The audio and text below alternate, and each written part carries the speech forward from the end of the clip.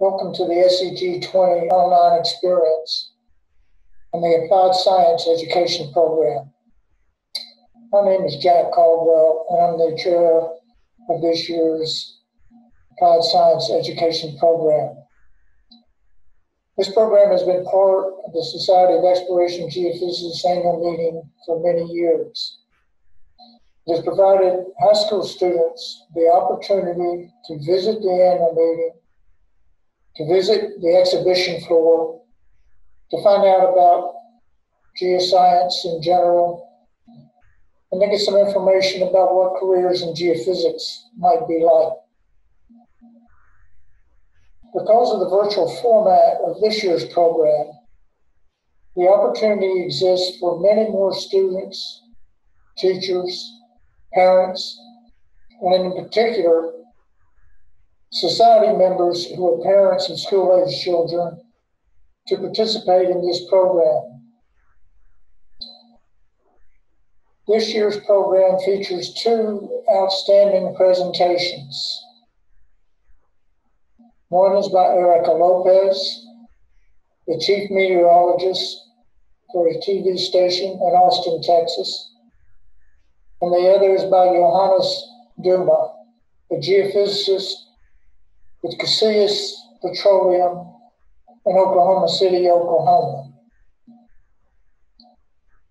We hope that you find both of these presentations entertaining, educational, and motivating. Normally, at this point, I would do some some kind of introduction for Erika Lopez.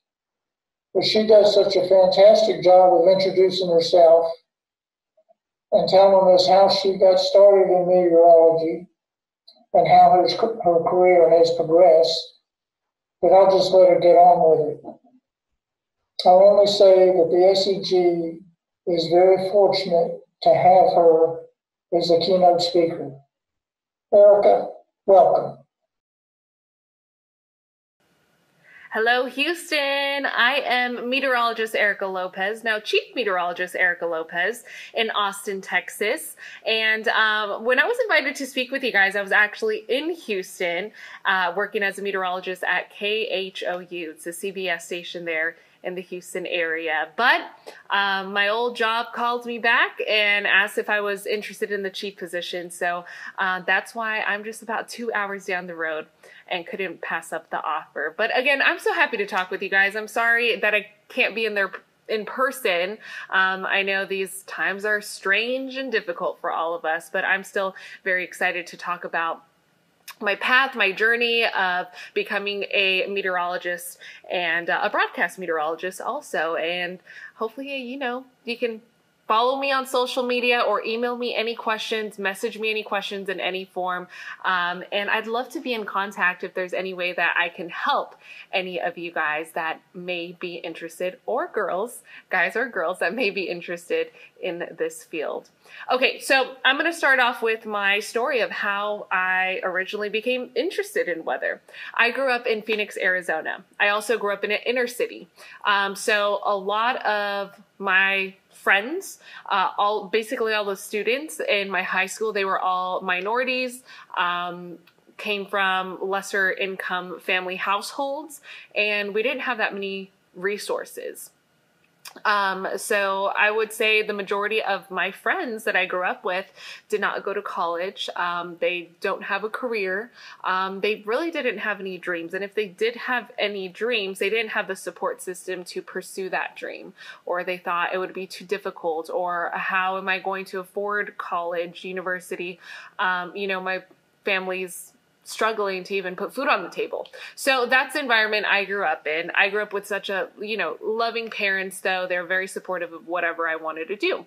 Um, so in Arizona, if you know anything about the desert Southwest, there's not much weather that goes on. If I ever went back to work as a meteorologist in Arizona, um, it's actually very quiet and I'd probably get bored uh, because it's either hot and I'm talking like 110, 115 degree stretch um, heat in the mid of the summer Or there is one season where it actually does get stormy and it does get kind of busy, and it's called monsoon season. So, monsoon season is what interests me uh, as a young little girl um, into becoming a meteorologist. But it interests me, although I did not believe in myself. So, what I would do is I was always so fascinated with the weather. I had so many questions. Why does it storm in the afternoon, but it usually doesn't rain in the mornings, right? I would I would have these questions um, that I would analyze. How does a haboob or a dust storm? How does that happen, right? so I was very intrigued. Um, and then I loved watching the news. I love watching the newscast. Um, but my favorite part of the newscast was when the meteorologist came on, right? I love the production. I love studying how anchors would toss reporters and why they did this and why they spoke this way. And everyone was so eloquent and great and professional but the meteorologists had something extra special. They were allowed to be as nerdy as they possibly could. And on top of that, uh, they ad libbed everything. So I just thought they're a little more awesome than the rest. Um, anywho, so put those two and two together. Loved observing the weather. Loved, sorry, I have my cell phone here. And oh, I actually need my cell phone open to look at my notes to make sure I cover everything for you guys. Um, but I loved, you know, observing the weather in Arizona, and then I loved the meteorologists on air on TV. So I would always joke around, and I was probably about, you know, maybe in sixth, seventh grade, maybe a little younger. I, I was very interested in news, and about fifth, sixth grade. Um, and then seventh, eighth grade is kind of when I started joking, I'm going to be a weather girl right? I'm going to be a meteorologist. I didn't know the difference of a weather girl and a meteorologist, but I didn't quite believe in myself. So I made a joke out of it. And, um, but then when it came to the time of graduating high school and I was terrible at math, let me tell you, I was not the best student.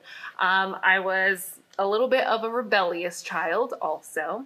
Um, and you know, my teachers would tell me, um, Erika, did you know if you wanted to be a weather girl or a meteorologist that it requires a lot of math? And I got so nervous and I thought, I can barely pass algebra. I failed algebra two times in high school. I can barely even get through algebra. How am I going to get through calculus, right? Um, I did, you know, uh, finish high school. I graduated from high school, and I still did not know what else I wanted to study. So I thought, might as well just go for meteorology. I did go to community college for my first two years, which I highly recommend, and it was the best choice for me um, because it was so much cheaper and so much get hands on. I, I don't want to say easier, but because it's not easier, but your classes are smaller. You have more one on one time with teachers. And I lived in the tutor center because I'm, I worked my butt off uh, to pass math. And little did I know I was terrible at algebra in high school, but I was actually okay at uh, calculus. So they're completely different maths, right? So I put my heart and soul in it. It was tough. I did cry. I did want to quit. At one point, I thought I was going to change my major to um, geography or geology because meteorology was too difficult for me. But then I thought, you know what? We only live one life. And I'm not going to be happy with myself if I don't pursue my one dream. This was literally my one dream. Um, long story short, I finished community college and it was time for me to transfer. I wanted to go to the best school for meteorology, right? So I applied to um, what I thought were the top two best meteorology schools. Um, there's so many great programs across the country, but I did apply to Penn State and then I applied to Mississippi State. Um, Mississippi State did accept me right away, and they have a great broadcast meteorology program and a great online program also. But then Penn State um, accepted me very late, very last minute. I think the month was June.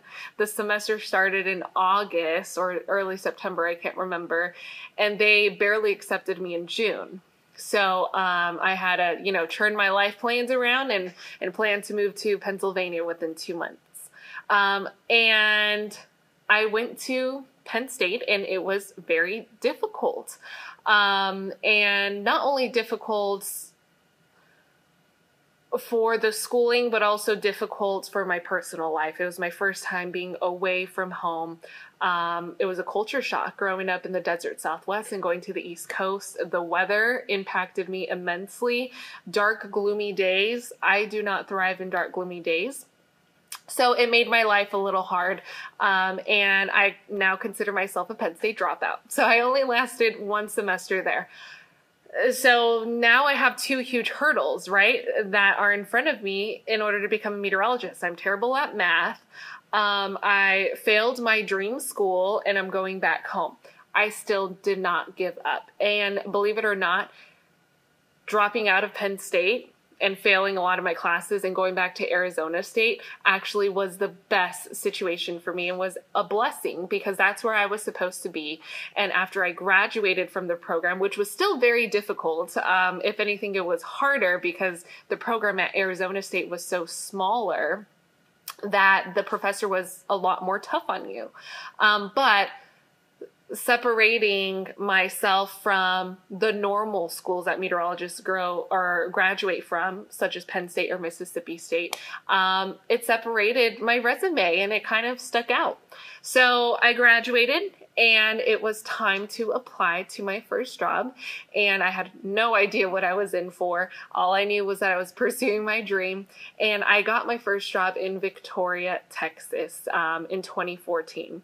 So, in the news industry, you start off um, in a small market and then you work your way up. So, um, this market, it was a culture shock as well. Growing up in the desert Southwest, my only experience living leaving home was moving to the East Coast. It was terrible.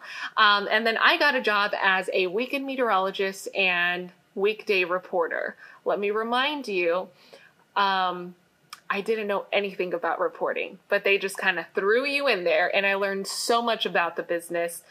I was terrible at reporting and I will never go back and look at uh, the work that I did, but I did learn a lot about the industry and about departments that I would not have learned about if I didn't have that opportunity. So, um, from Victoria, Texas, I went on to my second job, and that was in Colorado. I got a job with a national news um, station called Weather Nation, which is based out of Denver, Colorado. Denver is amazing. And I loved the experience of being able to forecast nationally. On top of that, I was able to work with so many meteorologists across the country. And one of the things that has helped me most, most in this career are the relationships that I have built and um, who I work alongside because I'm someone who soaks up so much knowledge. I'm not great at schools and textbooks and um, sitting in front of a computer and learning that way. I'm someone who is hands on. I love absorbing inf- information, having uh, conversations with other people, and just asking questions. And I grew very fast, not only meteorologically, but also on air when I worked with Weather Nation. So that was a huge blessing in my career as well because after Weather Nation, I was there for two years, I was able to land my job as a morning meteorologist in Austin, Texas. So you get the picture. You travel a lot as a um, someone who works in news in general because you have contracts. Your contract is anywhere from one to about three years, sometimes even larger. Uh, but most of the times, on average, they're about two year contracts. So I got my job in Austin, Texas, which is what brought me back to Texas. And I was so happy because um, once I left Texas after my job in Victoria, I knew I was going to come back. And I think I should have been born a Texan because I absolutely love this state. So um, I learned so much about Central Texas weather. And so far in my career, I, you know, I've moved from Victoria to Denver to Central Texas. And my favorite thing about working in this industry is learning the meteorology in every single location that I have lived in because it's very different. Uh, the meteorology in each location, it, you know, the topography, the geography, it impacts a lot of what's going to uh, bring out the biggest vulner- vulnerabilities in the local community. Right. So it's very important to be aware with what what are um, the areas that are very prone to flooding, or what are the areas that deal with um, extremely high winds, or what are the areas that you, you know are very prone to say fire danger. Every single situation, every single location in this country is impacted by the weather for the better or for the worse um, in their own way. Um, after my two years here in Austin, I work for a company where you're able to transfer within the company. So I found an opening, and because of my networking and my relationships that I have built, I was able to get the job in Houston. I was only in Houston for one very short year, and I'm very sad to not be in Houston because it is an amazing market.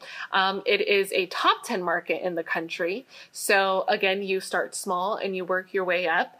But it's not all about the market size either, um, because after my one year in Houston, I decided to come back to Central Texas, which is considered a medium sized market, but for a better position for the chief meteorologist position um, which is a, a, blessing. It is very rewarding.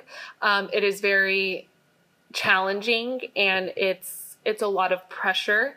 But again, if you love what you do, and I absolutely love what I do, and I love the community so much here in Austin, Texas um, I feel responsible for everyone here. And it really sometimes is a life or death situation. So I take this job very seriously. Yes, it's fun. Yes, you get to put on dresses and put on makeup, and that's all um, things you learn on the way with consultants or with, uh, you know, um, sharing tips with your coworkers or your girlfriends um, even men wear makeup too. Um, but it's just, it's something that it's an I was an opportunity I couldn't pass up. And um, so now I'm here for three years. And since I am still within the company, um, I can be asked to go back to Houston to help out. As a matter of fact, a lot of what we do is so digital and technology based now. So during the past hurricane, um, I was able to help out with a hurricane that made landfall across um, southwest Louisiana, Hurricane Laura. I was able to help out digitally for KHOU. So I'm still a part of the team technically. I will always love the Houston area and KHOU for what I learned there, I learned very, very fast, very rapidly. Um, that is an area where it is a life or death situation a lot. As you know, living in the Houston area, flooding is a major concern there. Um, so, um, let me see. Let me look at my list. I feel like I'm just talking and I keep rambling, and I hope I'm not boring you guys, but I am 15 minutes in. So I, I spoke about the fact that, um, you know, how I grew up and what interests me, my path, places I've worked. I'll talk a little bit about hurricane forecasting. Um, and then that was kind of all, all on my list. Okay, sorry, I got sidetracked there. So hurricane forecasting, um, it's it's difficult, uh, and the reason for that is because you're working with a system that is so you know long it, the, the duration it could last weeks it could last up to a month um, from when we are monitoring a disturbance in the Atlantic, in the Caribbean, in the Gulf of Mexico. There's so many aspects to it, um, so many ingredients that can trigger the strengthening or the weakening of a system and also what kind of interaction it has. Uh, does it interact with land masses? Does it interact with wind shear? Wind shear is change of winds with height because hurricanes don't like wind shear. That will tear apart a storm. Is it moving into an area where it has dry air within that area? If it does have dry air, how high does that air go up? At what level of the atmosphere are we talking about at the surface, or are we talking um, dry air aloft in the higher levels of the atmosphere? Um, is it entering into a body of water that is mid to upper 80 degree temperatures? Is there upwelling going on in that um, area due to a previous storm, right? There's so many different factors. And I'm not you know, I am not um, the best at forecasting hurricanes by any means. I have only been in the industry for six years, but what I've really appreciated was working alongside the meteorologists there at KHOU who have been doing it some of them for decades, um, such as the chief meteorologist David Paul. And uh, again, that has been the the best thing in my career, and I really appreciate all of my experiences and all of my uh, time. Even though the Houston area, it was only one short year, um, but that really brought a huge impact to my career in my life. And I wouldn't have had this opportunity to move back to Austin as a chief meteorologist if it wasn't for my Houston opportunity. So um, I really wish this was an in person scenario so I can answer questions, but I do please ask you guys um, to reach out to me if you have any questions, any interests within my career, within um, my story, with, um, you know, if, if you're interested in meteorology if you're nervous about it or just have any questions, I am here for you. Again, my name is Erika Lopez. You can find me on Facebook, on Twitter, on Instagram. Um, and I hope you guys reach out and I hope you enjoy the rest of your day. Talk to you soon. Bye. I hope you, as viewers, found Erika's talk as interesting and enjoyable as I did. The SEG is really indebted to Erika for participating in the Applied Science Education Program. Erika, thank you very, very much. The next presentation is by Johannes Douma. He's currently a geophysicist with Casillas Petroleum in Oklahoma City, Oklahoma. Like Erika, he began his career in 2014 working for Cimarex Energy. And he's had a variety of positions doing geophysical work, both with Cimarex and with Casillas. He's progressed through doing various types of geophysical work to where he is now managing oil and gas properties in southern Oklahoma for Casillas Petroleum. Johannes obtained a bachelor's degree and a master's degree in geophysics from Colorado School of Mines.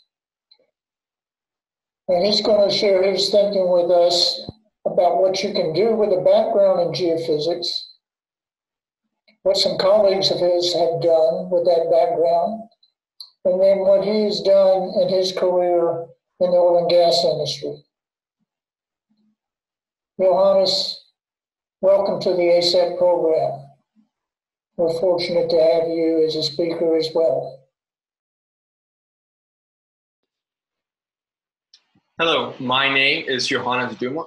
I'm a senior exploration geoscientist at Casillas Petroleum, and today I'm going to be presenting to you on geophysics, a broad option in this changing world. So, what is geophysics? Geophysics is a study and exploration of physical properties and processes of the Earth in the surrounding space environment. That's everything from below you underground in the subsurface to above you in space, meteorology, and planetary geophysics. An analogy would be the medical imaging of the Earth. Just like in the medical field, if you have a knee injury, a common practice would be to get an MRI taken of your knee to see what's going on beneath your skin prior to an operation or to look at how is your baby developing you would go to the doctor and get an ultrasound taken where they send sound waves down that reflect back off and are able to then characterize and see how the baby is doing and progressing without having to go inside. We do the same thing with geophysics on a much larger scale, both characterizing the subsurface for oil and gas exploration potentially, or up in space to characterize planets. So, what do you study? Well, geophysics is an interdisciplinary and an applied science. So, you study a broad range of topics from physics, mathematics, geology, computer science, and chemistry. But what I love about getting a geophysics degree and why part of the reason I went into it is because you learn such a broad range of topics that as you progress throughout your study in your undergraduate and then graduate school, if you so choose to, you can pick your electives where you want to gain more experience in. In my case, that was mathematics and computer science during my undergraduate degree. And during graduate school, I really found a new passion for geology and rock characterization when it came to oil and gas exploration. And so it doesn't necessarily preclude you from going and only allowing you to stay in that one field you had so early on chosen. If your passions and desires change throughout your study, you have the flexibility to change what direction you move. So, where can geophysics take you? Well, because geophysics provides one such a broad technical background, there are a lot of options.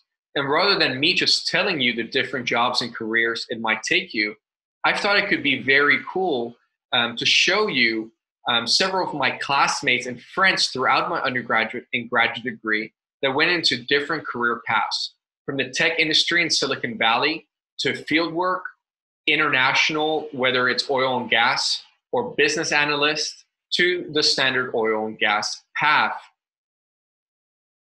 So the first person I want to highlight was Lu Ming Liang. So he got his master's and then PhD from Colorado School of Mines. He majored in computer science, but he had a minor in geophysics.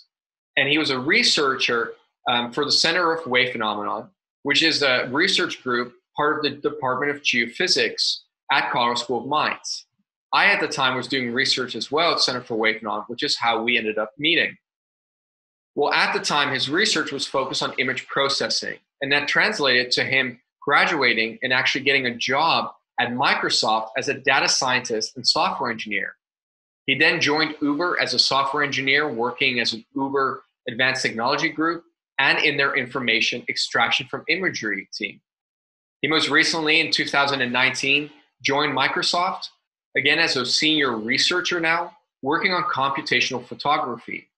But to bring the story full circle, what I found was so neat is that his current intern student is a geophysical PhD candidate at UT Austin. Lu Ming could have picked a number of different intern student and candidates, but his current intern student is a geophysicist working on his PhD degree at UT of Austin.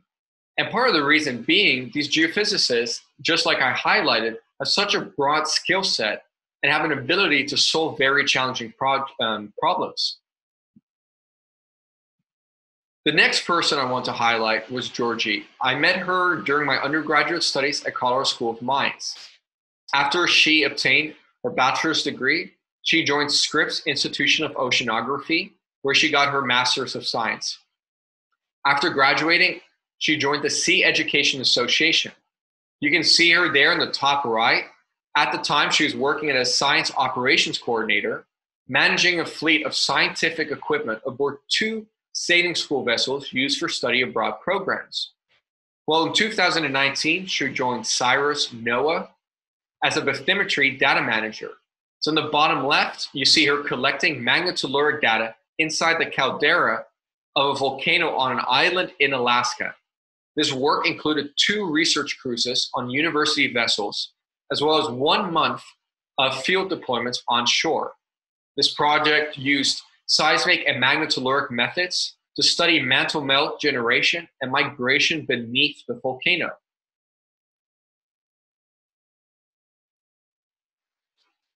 So I've highlighted now going into the tech Silicon Valley path or even into field work. The next path I want to highlight was another classmate, Detchai, who goes by the nickname of Pak. I met him during our undergraduate studies. And then um, we both graduated at the same time from our bachelor's and then master's. We both also did our research at the Center for Wave Phenomenon, which again was one of these research groups as part of the Department of Geophysics at Colorado School of Mines. Well, during his studies, he did an internship at numerous large oil and gas companies within the United States. But after graduation in 2014, he joined PTT EP which is a national petroleum exploration and production company dedicated to providing sustainable petroleum supply to Thailand and the countries they operate. He's now currently team lead geophysical operations in Malaysia exploration projects. So you can see him there on the right. Um, that's a photo of him in one of their corporate offices. And then in the bottom left, him on one of these seismic vessels acquiring and collecting this new seismic acquisition offshore for one of the projects that he was working. So he was not only getting exposed to the corporate and the business side, um, handling technical projects, but also going out into the field, um, looking and managing one of these larger scale acquisitions. The last person I want to highlight was Andrew, who goes by the nickname of AJ. And so I met him during my undergraduate studies at Colorado School of Mines. After he obtained his bachelor, he went to UT Austin to get his master's in geophysics. Once he graduated, he joined Equinor in 2016 as an exploration geophysicist working on the regional Gulf of Mexico GOM team. He then joined the Mexico Deep Shallow Water Prospect Evaluation but now, most recently, he moved abroad um, to Norway, where he's now currently crude oil valuation and analyst. This position is part of a one year program called the Global Development Program, wherein a small selection of experienced candidates are admitted. And these participants work within a role outside of their main business area. He's doing nothing geophysics related to gain exposure to high profile personnel in Equinor, travel regularly to different offices, and understand Equinor's core businesses from the inside out. So, what does he do on a day to day? Well, he works to help now convey the technical value of crude oils from all over the world in order for traders to capture the full value potential of oil itself and the marketed products. So, so specifically, recently he's been developing apps to summarize this information and distribute it to those who need it. So his day to day now involves nothing geophysics related. You can see him there in the top right on one of his many hiking trips in the beautiful Norway landscape.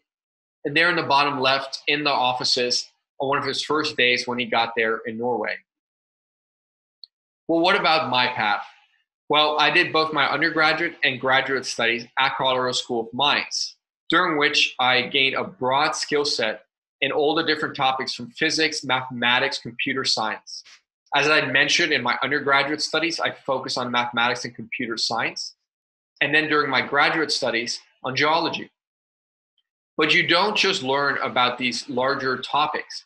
You also get exposed to the different careers you can go into throughout your studies to make sure that you're chasing something you're very passionate about. Such as in this case here, this was me doing field work during one of our field camps. Um, this was junior year of my undergraduate studies.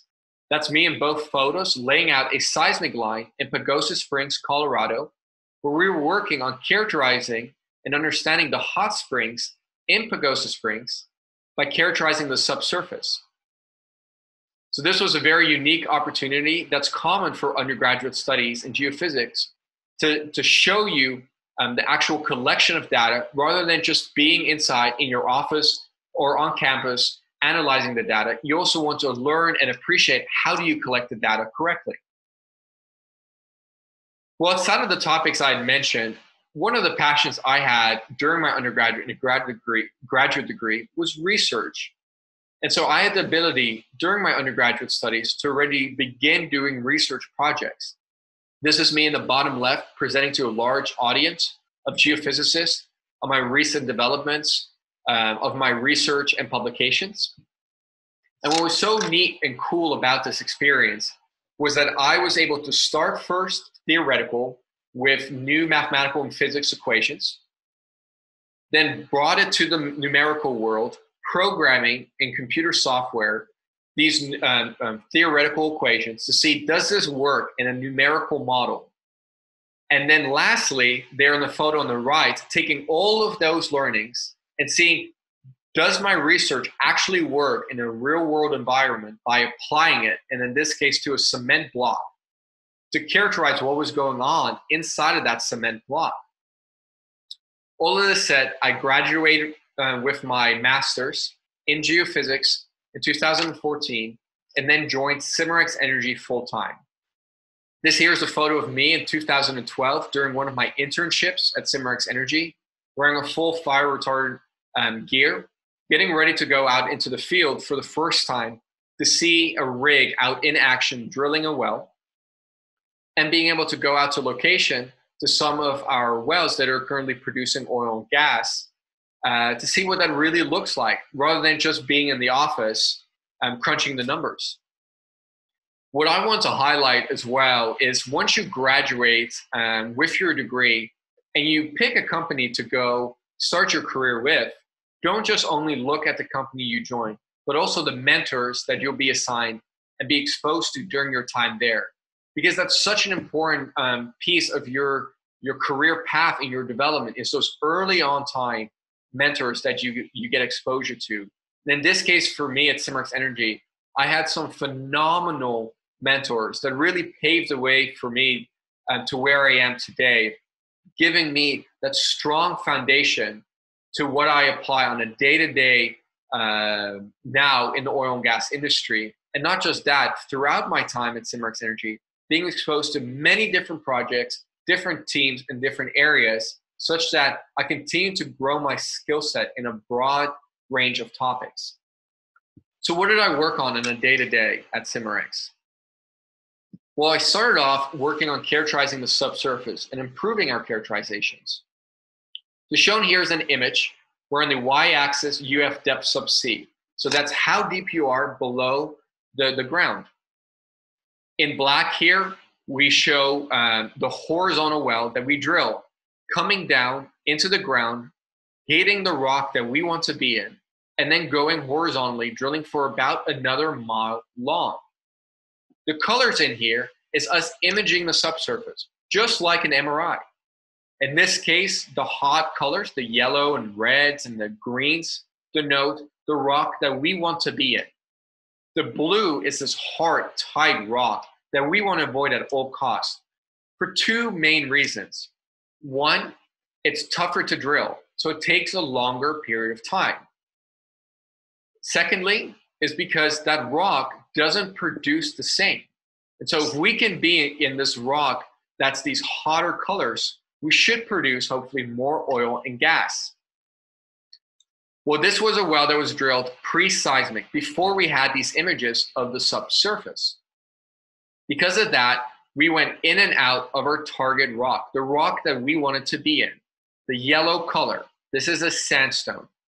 And so we went in and out of the rock we wanted to be in, constantly hitting this harder, tighter rock that slowed down our drilling.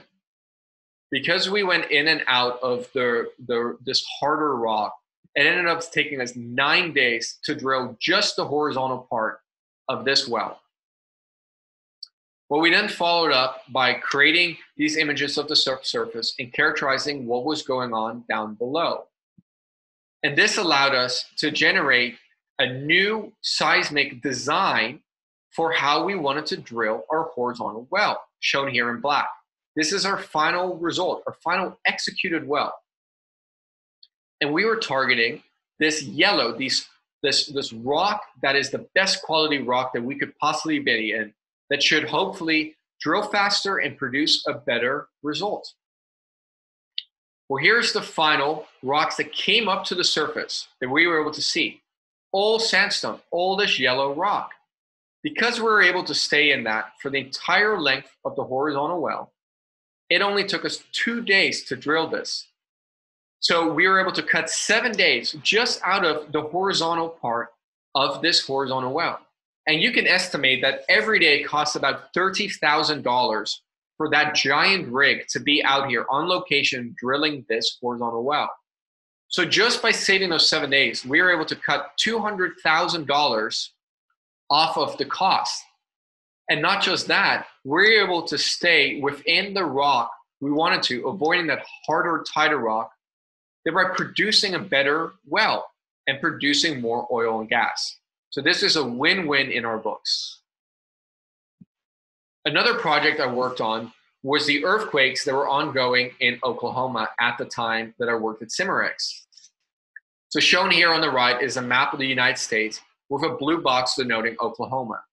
So as we zoom in on Oklahoma, shown here are the blue dots representing every earthquake greater than magnitude 4. These occurred north of Oklahoma City and west of Tulsa. So, what was going on in Oklahoma to cause these earthquakes?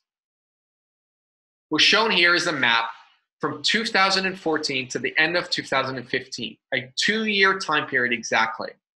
During this time, there were 12,029 earthquakes that occurred within the state of Oklahoma.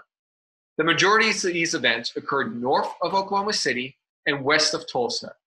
So every brown circle that you see here on the map represents an event that was recorded and reported by the OGS, the Oklahoma Geological Survey. The blue triangles represent the stations where we are recording these earthquakes. So they're spread all throughout Oklahoma. So we make sure that we don't miss a single event. So there were a lot of earthquakes that occurred during this two year time period. Why? Why did these occur? Well, the hypothesis was that some of the oil and gas plays produce large volumes of water with oil. So here's a little image to highlight that. You have a producing well and you drill down to the rock that you want to be in.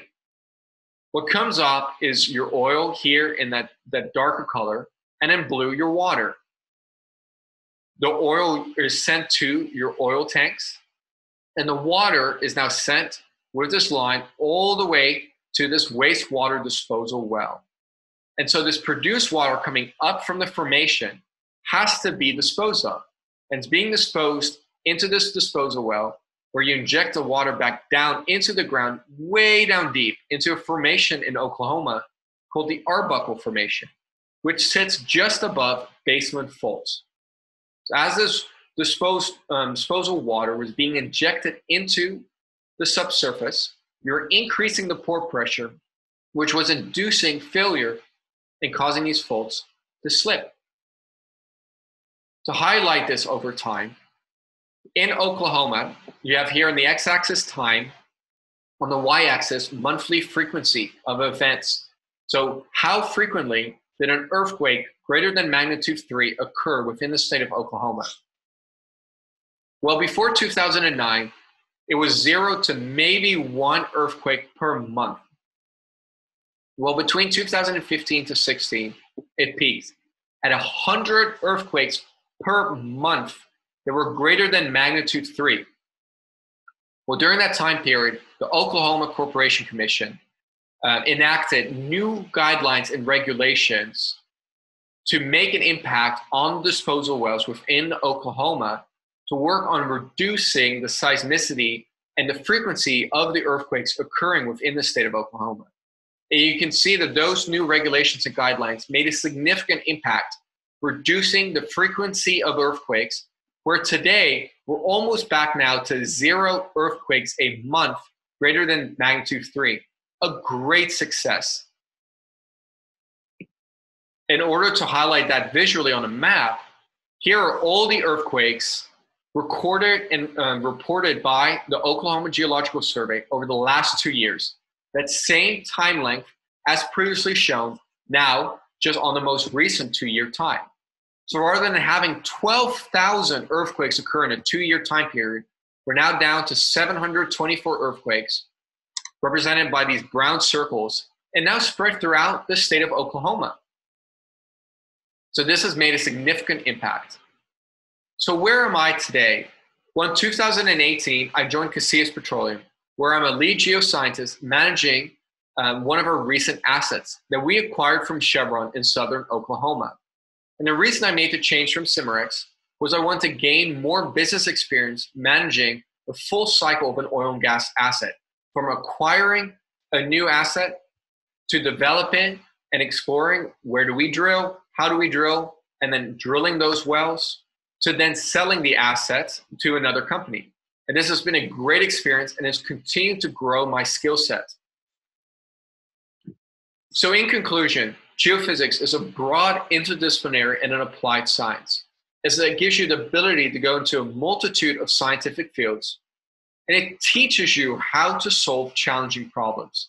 And that's key. You not only have that broad skill set, but you learn how to solve very challenging problems. And that skill set transfers to any industry, as I've highlighted, whether that's tech, business analyst, going out into the field, planetary geophysics, oil and gas. So I hope with that that I've uh, intrigued you enough to potentially consider geophysics as one of the degrees that might interest you for college. Well, I want to thank you guys for this time. I really enjoyed doing this and uh, hopefully uh, talk to you again sometime. Thank you very much. Nice. That was a neat way to show how starting out in geophysics can lead to way different career paths. And to show how a background in science, technology, engineering, and mathematics gives one a lot of flexibility in career choices. As was the case with Erika's presentation, the SEG is really indebted to you for participating in the Applied Science Education Program. We appreciate the effort you made and the time you took to participate in this program. Thank you very much. This concludes the Applied Science Education Program for SEG 20 online experience. If you'd like to review these presentations again, please go to the SEG channel on YouTube. We hope that you found these presentations interesting, informative, and inspiring. Thank you for joining us for this program.